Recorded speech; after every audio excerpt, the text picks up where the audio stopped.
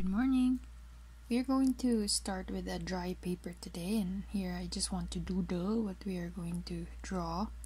We are going to make flowers like this and birds that are these uh, shapes. You just add the body and then wings. They don't have to be perfect, but you will just shade.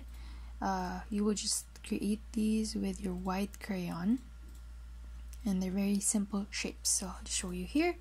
I'm scattering the flowers here at the bottom and I'm trying to make many of them uh, in the bottom third of the paper. And then I'm adding up to five birds. Don't make too many. Keep the middle part of your paper clear for Baldur the Beautiful. Alright now you're going to wet it after you're finished with that step.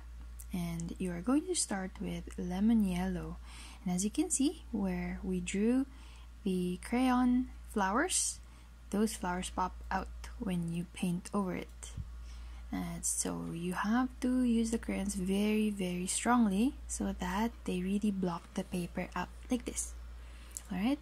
And then we are going to after putting Prussian blue of course we are going to use ultramarine blue for the sky. And then the birds will appear in the sky. Now you might uh, like me see that some of the birds uh, look a bit odd.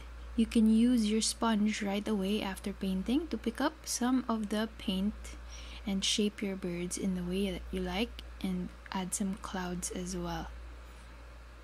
Alright so we just used three colors so far and we just washed over the paper. The images were formed by the crayon we did before now we are going to draw uh, to paint Baldur himself with a dot of gold for his head. Don't make it too big because it's going to spread out.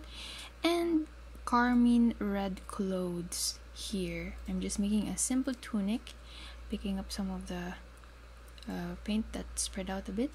And gold again for his hands and vermilion for his hair here. Then we add the beard and then pick up some of the vermilion again for his mouth. And there you go. Baldur the Beautiful.